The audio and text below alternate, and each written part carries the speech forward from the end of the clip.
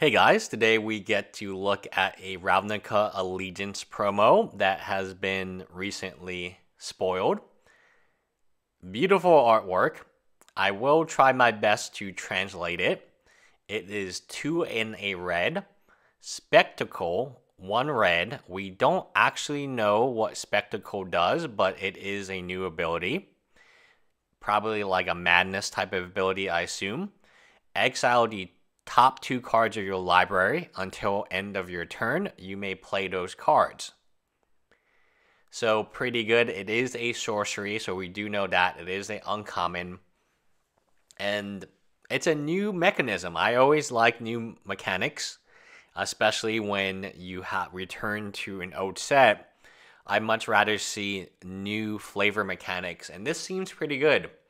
So spectacle uh, I don't know what it does.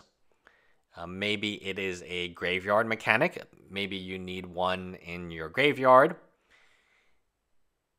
The flavor text reads everyone to their places, so it makes sense that it would have a ability called spectacle. Uh, how often does cards get leaked? I think that is a real problem. Um, beyond just you know getting these cards leaked, it's who's leaking the cards.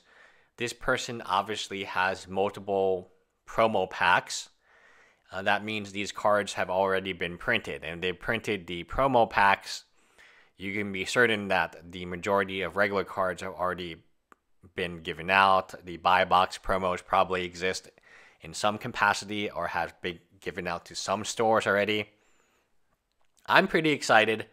Um, the Ravnica set was a very good set. Um, I was skeptical of returning to return to Ravnica, but if something works, why not? I mean, Iron Man has Iron Man 1, Iron Man 2, Iron Man 3. Iron Man's in pretty much the main character in Spider Man, Civil War, Avengers, Avengers, the new Avengers that's coming out.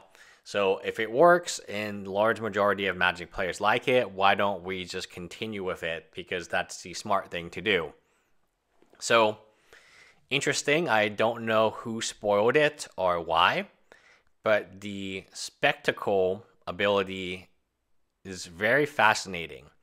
There's no reminder text of it because it is a promo and since that time promos don't have reminder text anymore and it would actually be kind of hard to fit it on a card like this.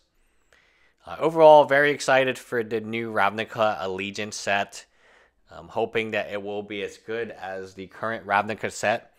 Uh, the player base is expanding in my locals. Um, standard will always be king, no matter how many people want to play modern. Standard will be king, and it's good to see a healthy standard now. Anyway, bye guys.